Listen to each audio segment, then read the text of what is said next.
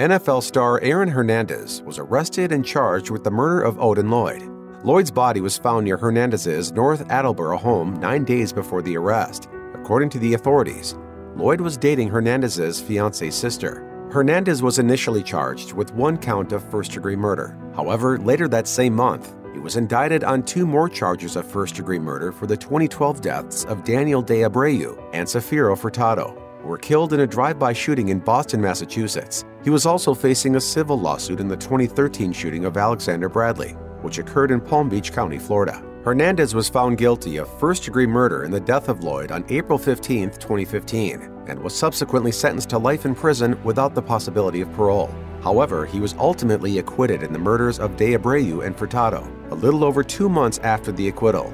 Hernandez was found unresponsive in a cell at Souza Baranowski Correctional Center in Shirley, Massachusetts.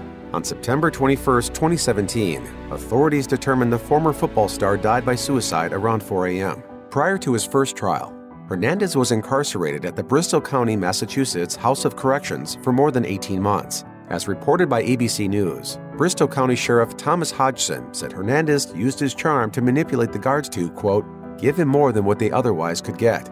Sheriff Hodgson said Aaron Hernandez specifically tried to get the guards to give him more sandwiches and other foods. However, they were all instructed to avoid giving the former football player any special treatment. During his time at Bristol County, Hernandez was prohibited from watching television, listening to the radio, or reading newspapers. My, my philosophy is if you come to prison, uh, we're not going to use taxpayers' money to have you distract yourself away from the things you should be focusing on. ABC News reports this was particularly distressing for Hernandez, as he was unable to follow his former NFL team, which made it to the Super Bowl in 2015. Jail records suggest Hernandez also struggled with adjusting to the rules, interacting with his fellow inmates, and feelings of isolation.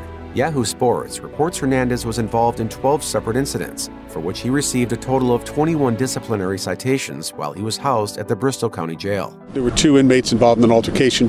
Uh, one of them was uh, Aaron Hernandez.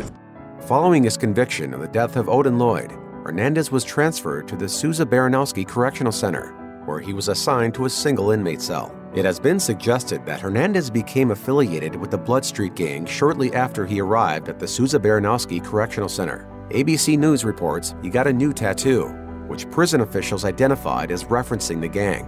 Hernandez was also involved in a physical altercation with another inmate, which authorities believe was gang related. Hernandez accumulated 78 disciplinary offenses during his time at the Souza Baranowski Correctional Center, which stemmed from 12 separate incidents.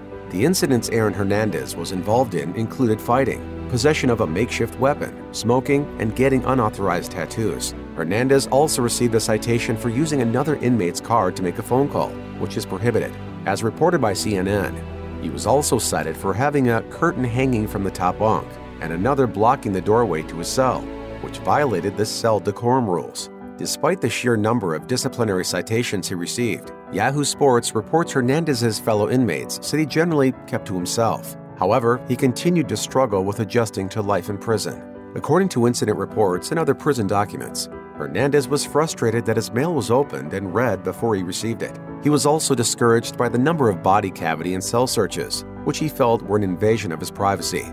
During his time at the Souza Baranowski Correctional Center, Officials said Hernandez became increasingly frustrated and angry. As reported by Yahoo Sports, he would routinely shout and kick his cell door to get the guards' attention. Less than one year after his initial citation for violating the cell decorum rules, guards found a sheet hanging in front of Hernandez's cell door once again. When he failed to respond to their commands to remove the sheet, the guards went inside the cell and found Hernandez unresponsive. Aaron Hernandez was declared dead by suicide in the early morning hours of April 19, 2017. If you or anyone you know is having suicidal thoughts, please call the National Suicide Prevention Lifeline at 1 800 273 TALK 8255.